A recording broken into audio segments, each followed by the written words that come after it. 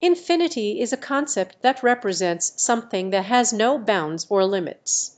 In the case of black holes they are not actually infinitely dense, but they have a very high density. The reason why black holes seem to defy the idea of infinite density fitting into a finite space is because gravity becomes extremely strong near them. This strong gravity causes the matter and energy to collapse into a very small volume. It creates a region where the force of gravity is so powerful that nothing, not even light, can escape its pull.